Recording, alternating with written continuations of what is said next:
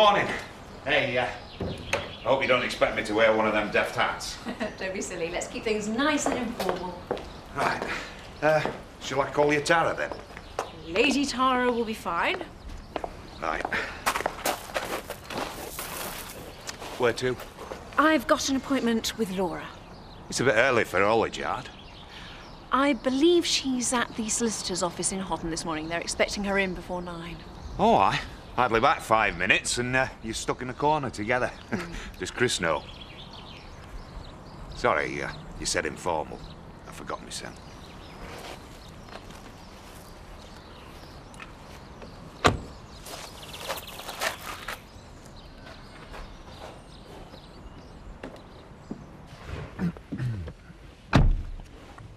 You're a man of the world, Terry. Am I? Laura's been having a few problems. I'm going to give her some moral support. I didn't realise. No reason why you should. Is she okay? It's rather delicate. She's uh, been having some uh, ladies' problems. Oh, right. Yeah, well, uh, we best get cracking. Don't hit the traffic. We can rely on your absolute discretion. Me? I'm sorry I asked. I haven't seen either of you all day.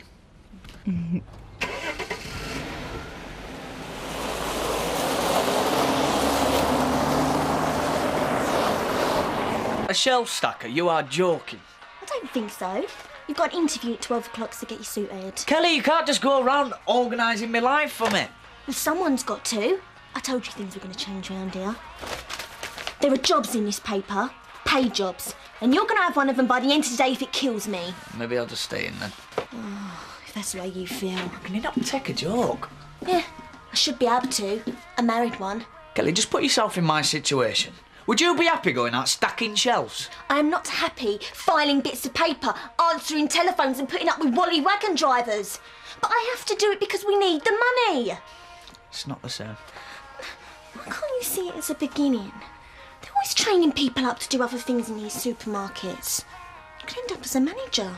Do you think they'll let me use tills as well? I really want this marriage to work, Roy, but I feel like I'm putting everything in and it ain't fair. All right, I'll go do the interview.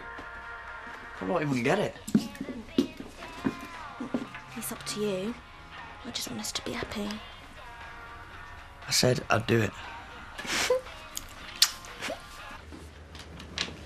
Can we have some more coffee in here, please, Cheryl? I thought you'd gone. Still waiting patiently. I think you need to update your magazine collection. I've got nothing to say to you. But you go back to your client. I'm quite happy here with Beryl. Cheryl, Cheryl. suit yourself.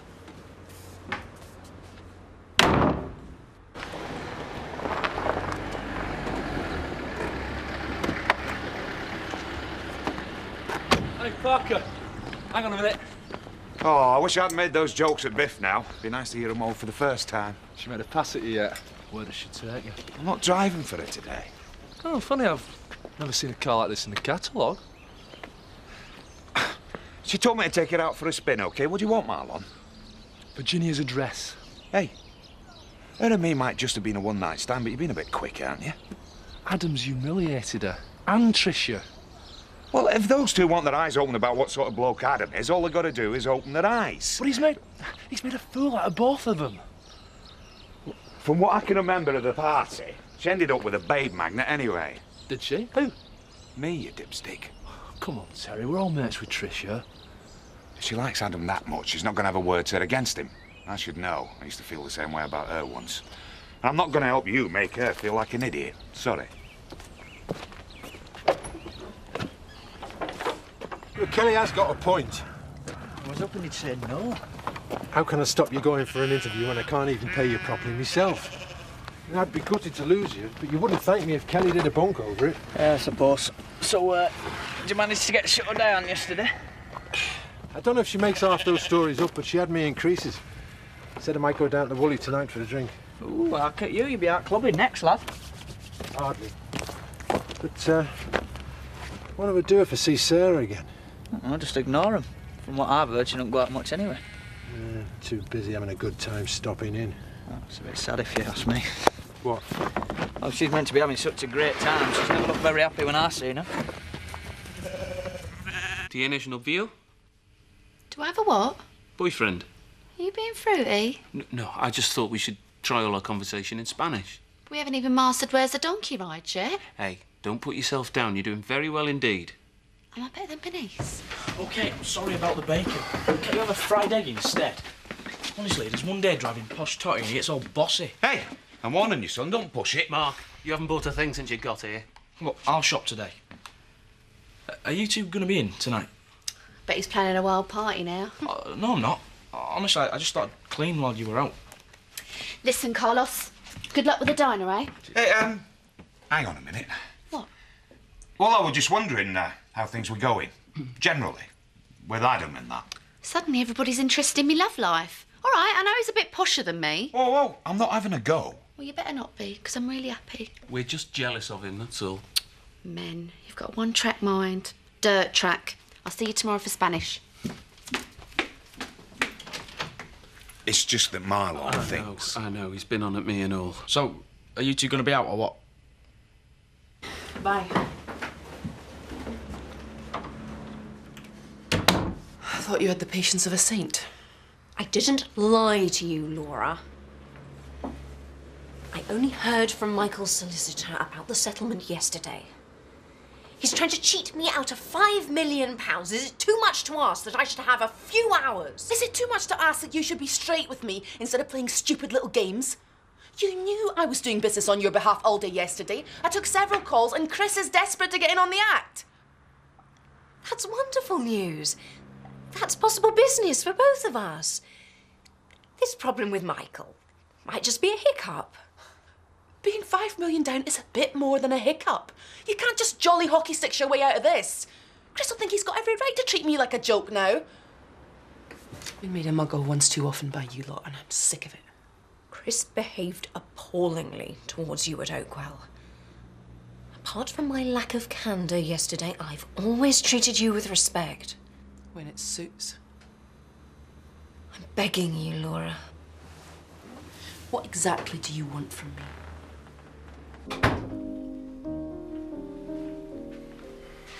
Is there any chance of borrowing the car? I'm going to go crackers if I don't go out soon.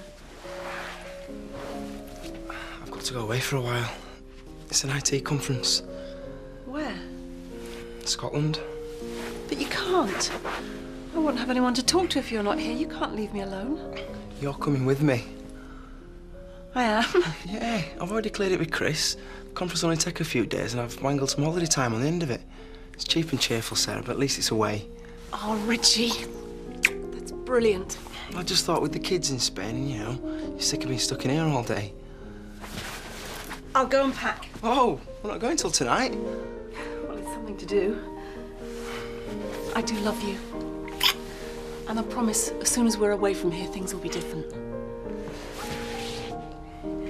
Told Chris you were on fairly good terms with Michael. Physical abuse isn't something you brag about to your acquaintances, Laura. Michael was all smiles at first. But in the end, he couldn't cope with me loving Biff. You chose him over Biff.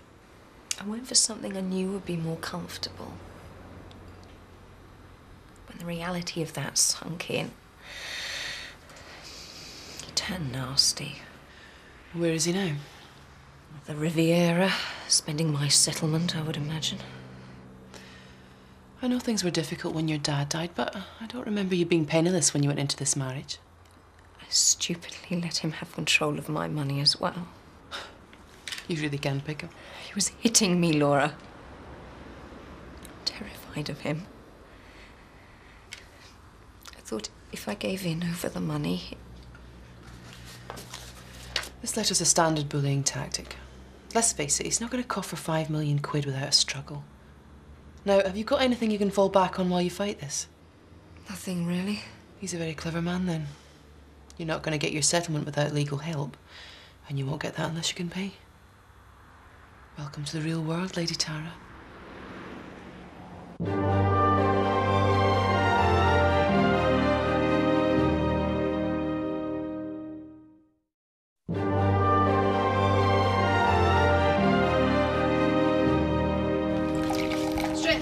Table, please, Betty.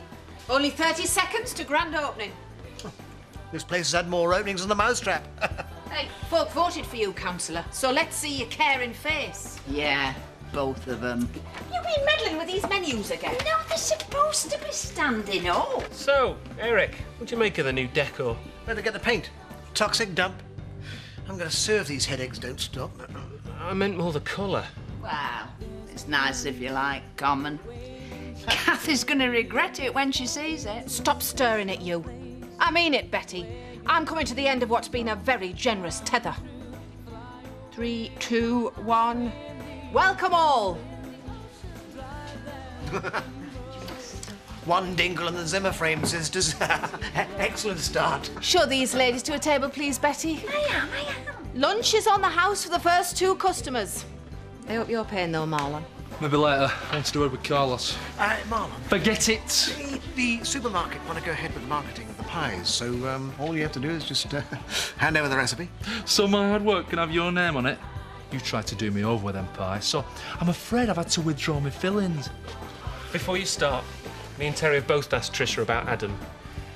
We've done our bit, and her exact words were, I'm dead happy. Sorry, mate, you're on your own. Hey, Carlos. If you're interested in me for my pie recipes, I you don't can... suppose the Spanish are very big in the pasty world? Have you really got a supermarket interested in a deal? It's an opportunity going begging. We can't have that, can we? I'll think about it, Eric. If the price is right. Well, I'm sure we can come to some sort of arrangement. Uh, when can I sample your wares?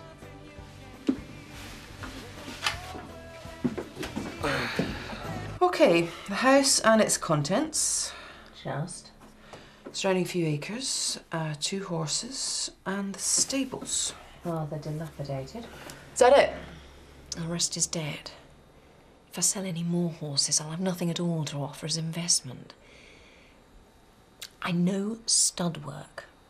It's something I can do, and I really do want to work, Laura. Whatever you think, I'm prepared to do a lot more than sit on my backside waiting to go bankrupt. So why can't you borrow enough to expand? Because the stables as they are couldn't handle it. And if I try to raise enough money to renovate, then everyone will find out that I'm. My loans will be called in, and that'll be that. Have you thought of taking in washing?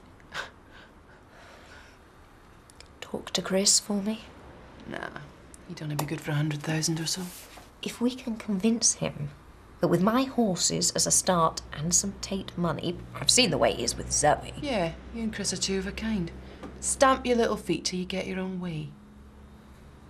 It hasn't worked with Michael. Then let's hope for your sake that Chris throws a better tantrum than you. Okay. I'll propose you set up your stud work at home farm. Three-way partnership.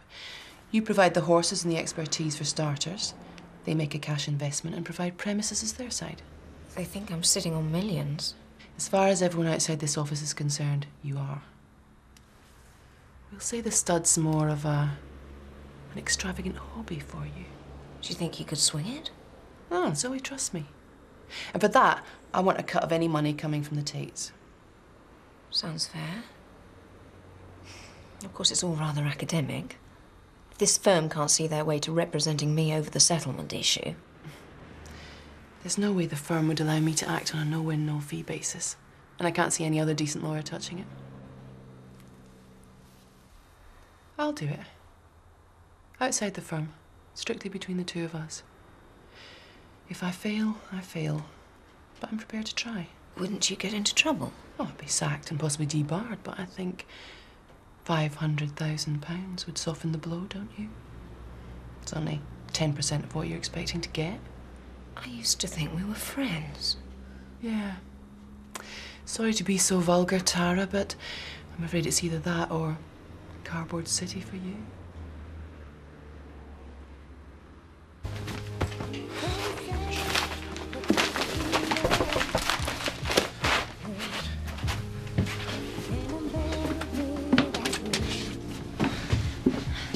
Came straight from school.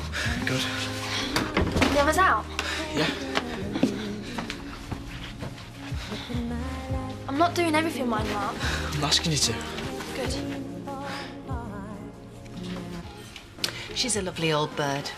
But I could wring her neck. She's devastated that we've done so well, you know. I only wanted a serviette. Trish, yeah. Virginia? No, it's just a unexpected surprise.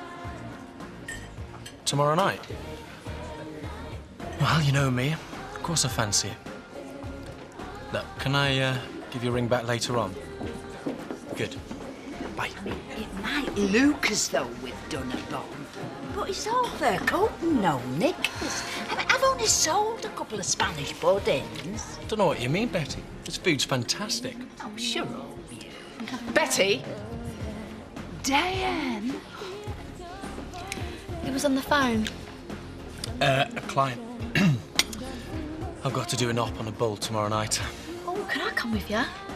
I don't think you can stomach it. And you're on call tonight? Yeah, sorry. I don't know why you put up with me, Tricia. You are a lovely girl. Well, that makes two of us, except Help yourself to sugar. I must say, I'm not very happy about the practice giving you my address. Uh, I snuck in the surgery and looked you up. I probably should have called first. Well, you're here now. It's not that I didn't have a good time with Terry, but you're right about Adam. He needs to be taught a lesson. No one makes a fool out of me. You and Tricia both. I suppose. You do wonder if girls like her feel things the same as other women do. Uh, what, what do you mean? Well, you know, sort of bimbo types. Oh, excuse me. Adam. Glad you could sneak away. yeah. Tea will be about half an hour. Can go to a pub later if you want. So, how'd the interview go? Ah, Nia won't get it. You might have had a chance if you even bothered to turn up. So you're checking up on me now? I phoned him from work so I could get the email address for this. What is it? Only a CV I've spent half the day sneaking about to do. I thought it might help you. I've had no dinner. Can't double portions then. Sometimes I really hate you, Roy. You just love showing me up. I'm working my backside off. Oh yeah, yeah. It's always about you, innit? Well, it might be soon, so you don't start pulling your weight. You're gonna dump me because I'm unemployed? Deliberately unemployed. There's loads of jobs you could get. Running away to slag me off with Tricia, are ya? No, I'm gonna go get a job. Well, licking the roads clean will do as long as it pays. Oh, I thought you were stopping out. Oh, we're a bit sharp with you this morning. Let's get stuck into this. Hi, Terry. Do you know who her mother is, you wazzock? Donna, home now. Oh, don't be like that. And, uh, may I suggest that you dress yourself properly? What are you getting so aerated about? We were only necking. Tell that to Viv. Some passion session that was. Thanks very much. Not to my room. Yeah, well, while you're there, you can pack your bags. Hey. Look, eating everything I can handle. But setting up a teenage knocking shop with Donna Windsor, I don't know who's going to kill me first, her mam or yours. Well, I can't go home, Terry. Of course you can. You're an insult to the proper homeless. Well, at least give me some food. I'm starving. Fancy a knuckle sandwich? You know, they're right what they say about you. You are a loser. Yeah, a loser with a takeaway. Have a nice life.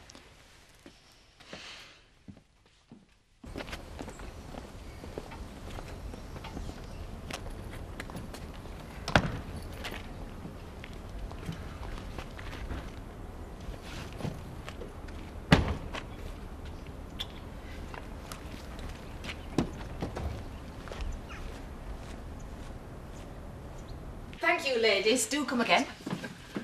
Well, I was beginning to think them two were stuck in the chairs. I thought that was a lovely gesture, Diane. Aye, and it's not like they're like gannets. They only cost us coppers. You're the boss. Here, we've done a roaring trade. The food went down a bomb, and um, everybody commented on the service, Betty. I was doing my best. You're a defensive old biddy. I meant it as a compliment. That's a bonus. What did you just call me? It was only a turn of phrase. There's now told about me, and does Kathy know you're giving her money away? I could understand you complaining if it was coming out your own purse. Right. I'm off if it's all right with you two. Yeah, well, there's a tidying up to do. You said you'd finish off. I said I would lock up. There are two of us, Betty. Right. That's it. Go home. Thanks, I will. And don't bother coming back tomorrow.